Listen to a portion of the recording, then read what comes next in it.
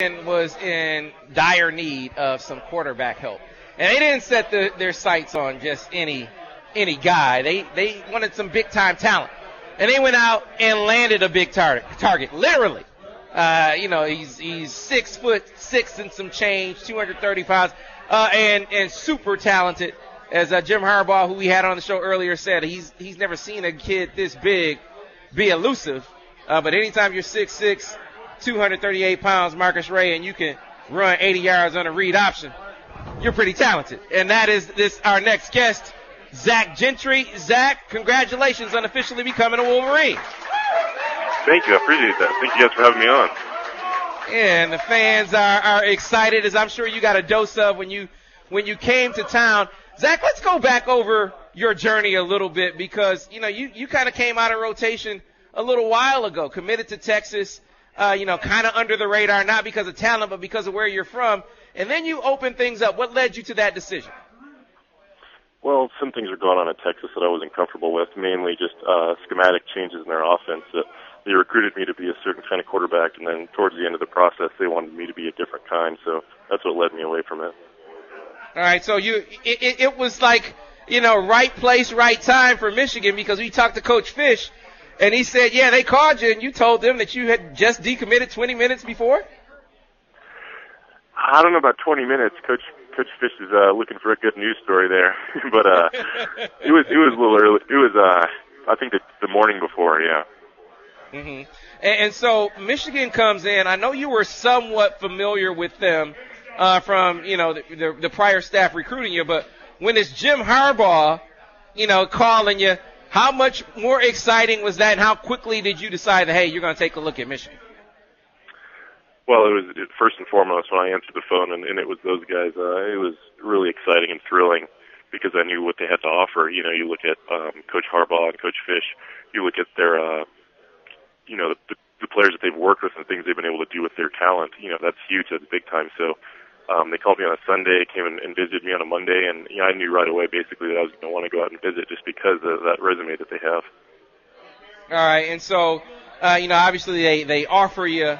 Uh, he said, you know, Jim Harbaugh said you're his kind of quarterback. Well, what kind of quarterback is Zach Gentry? Because you know, to be a four-star guy, you are the number 19 guy in the country. You put up big numbers, but it seemed like for so long you you still kind of flew under the radar despite all of that talent. Why do you think that is?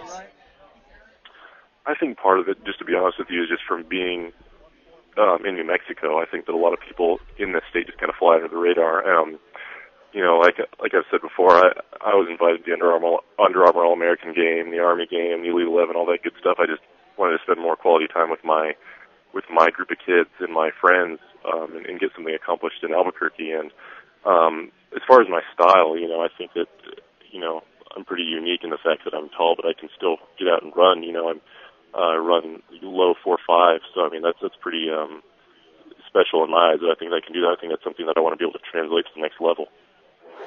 So biggest game of, uh, of your career. I don't know if this was the one, but uh, you know maybe you can take us back through the experience. The one that I read about it was against the number one team in New Mexico, and they said you didn't have the best first half. Matter of fact, it might have been might have been one of your worst halves of football, but you came out and turned in one of the best halves of football that people say they've ever seen. And it all started with a with an 80 yard touchdown run.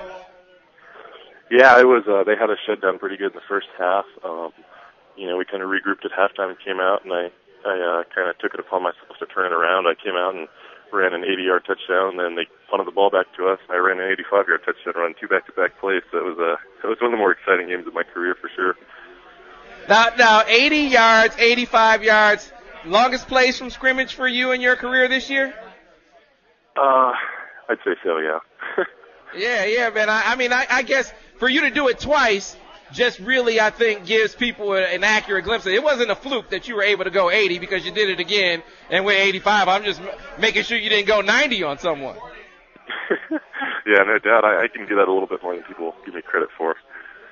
Uh, all right, so you can run 80 yards, but you can throw the football pretty far too. So if you were to drop back and just wing it, just in a distance test, you you're seeing how far you can throw. it. How far can Zach Gentry throw a football? Well, the last time I measured that was two summers ago at uh, at the Louisville camp. Um, I threw it 74 off the three three and a hit. Wow, wow, 74 yards in the air, uh, getting it done there. Now, player in college or the pros that you've heard yourself compared to, and do you think that's an accurate comparison? What was that? I said, uh, give me a player in college or the pros that people have said, hey, this is who you're like, and do you think that they they're giving you a pretty accurate comparison? Oh, okay. Um, I think the most accurate thing that I've heard um, coaches tell me is uh, arm strength of Ryan Mallett, but more elusive and able to run. Hey, so so Zach, we'll wrap up here. We'll wrap up here real quick and talk about the the competition because look, you know how you know how it is. You got some guys on campus. They're going to go through spring practice and and uh, you know get the playbook and that kind of thing. And there are a lot of people that are saying, hey, well maybe this Zach Gentry guy is going to uh, redshirt. What are the coaches saying to you about the opportunity next year right away as you walk in the door?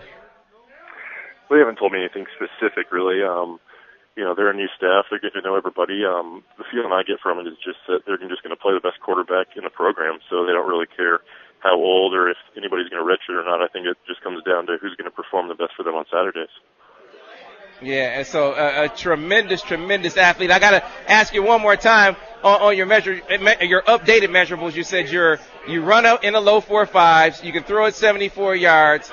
How tall are you at this point? How much do you weigh? What's your goal uh, kind of weight coming in, or are you there already?